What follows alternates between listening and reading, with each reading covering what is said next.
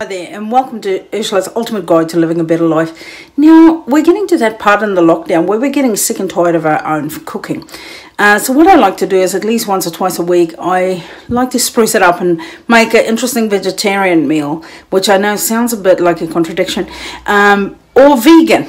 Now, I like to cook vegan, try out new recipes because I'm in the arts. I've got quite a few friends that are vegan. So, I'm going to share my favorite vegan recipe with you today.